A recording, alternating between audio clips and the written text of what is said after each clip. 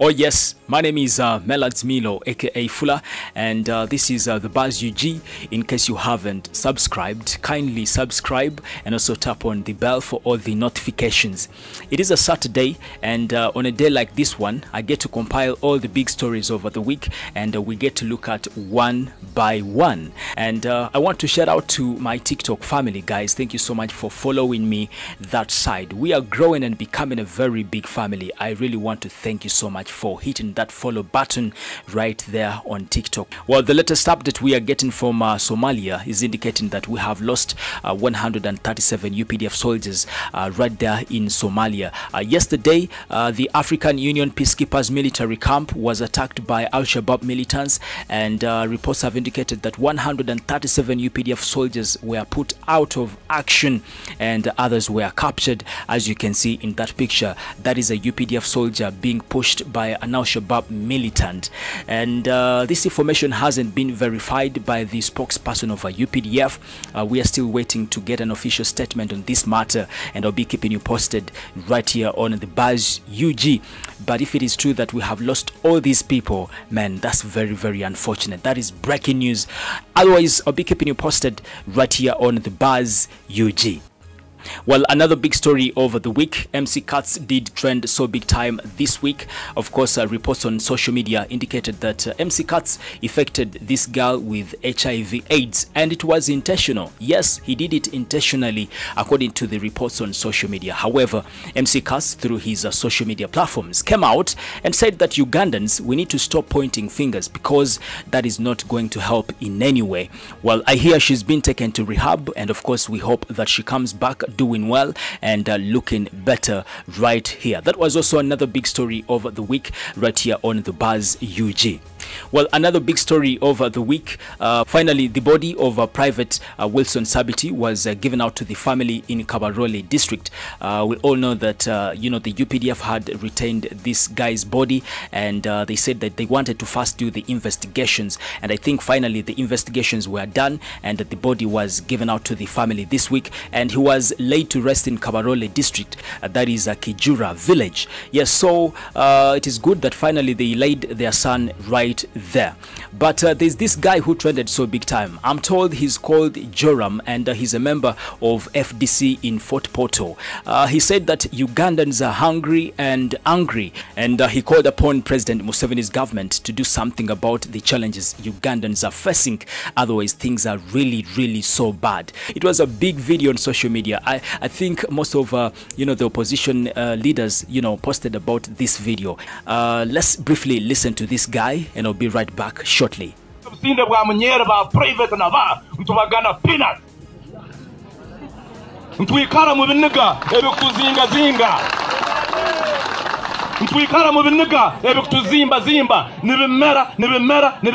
at the end of the day naharugamu kufa.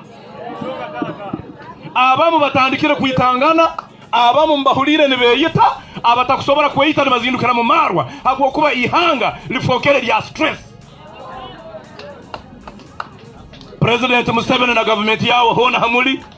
Muhure nduru y'abanyayuganda we are not happy people.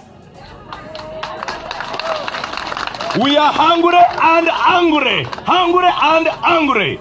Inywe namugarukemu muti ugandans we are hungry and angry. Hungry and angry Well, another big story we had this week was the death of uh, Tina Turner, who died in Switzerland at her home at the age of uh, 83 years. It's very unfortunate that we lost a legend, and uh, it is reported that uh, she had uh, kidney problems. Yes, she had kidney problems for a long time, and uh, basically that was the cause of her death. It's very unfortunate, but she has been celebrated so big time by celebrities and world leaders on a different social media platforms. Uh, for example, the current president of uh, USA, that is uh, Joe Biden, did post on his social media platforms, and also the former president of America, Barack Obama, also did say something about uh, you know uh, Tina Turner. It's very unfortunate that we lost a legend, but of course we pray that uh, her soul continues to rest in peace.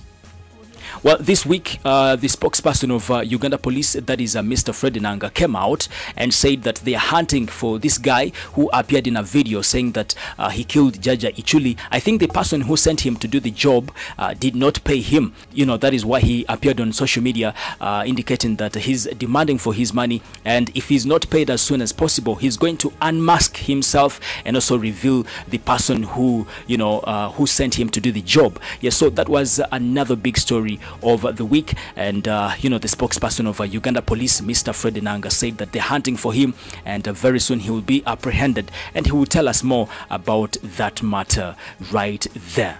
Well, finally, uh, this week there was also another shooting in Kasanda. Yes, there was another shooting in Kasanda. Uh, a police officer shot himself dead, and uh, this was after attempting to kill his boss. And I think he thought he had killed him, and uh, you know, he entered his room and shot himself dead. I don't know what is happening with these guys carrying guns, but that was also another big story over the week. And before that shooting, by the way, we had had another shooting in Kasese district, actually Kasese municipality.